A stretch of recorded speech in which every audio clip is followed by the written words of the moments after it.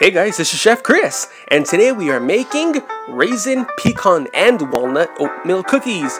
Decided to go a little healthy on you guys today. I'm over here at my grandmother's. This is one of her favorite oatmeal cookie recipes. I'm making them for her and I figured, hey, why not show you guys how to make them as well? They're chewy, a little crispy on the outside. They're delicious. Alright, so let's get started.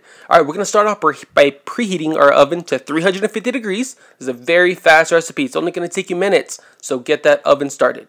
Alright, on a chopping block. I decided to go with pecans and walnuts. Of course, it goes without saying, use your favorite kind of nut. Go nuts! Whatever you like is what you put in there.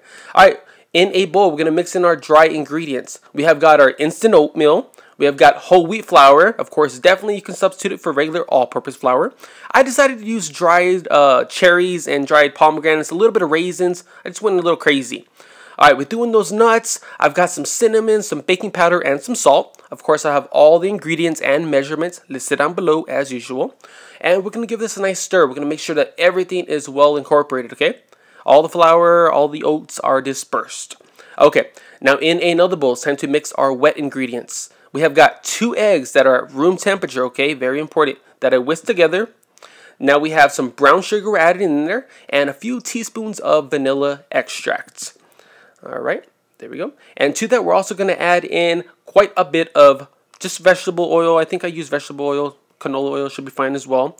A nice helping of honey, and we're going to stir that as well. And that is pretty much it, guys. Make sure that's well incorporated. And it's time to mix in our wet ingredients with our dry ingredients. How fast was that?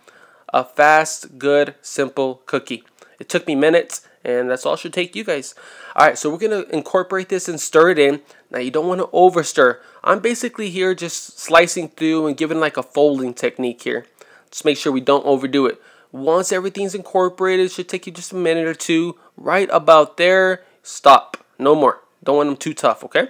Alright, on a baking sheet, I got a silicone mat, got some spray, a 1 4th cup measuring cup, and um, that's how I'm going to put my cookies to make sure they all come out the same size. We want uniformity here, guys. That's how you, uh, that's how I want my cookies to look. So I got one fourth coming out there. I sprayed them in there so it doesn't stick. You're to pat them down with the other side of the, uh, of the cup, measuring cup, okay? Because these don't melt down. They don't really, the size you practically put them in the oven is almost the exact same size they're gonna come out, okay? So we're gonna stick it into the oven. We're gonna set the timer for only 12 minutes. Doesn't take long at all. Once the bottom are golden brown, they are set. Perfect, took them out, delicious.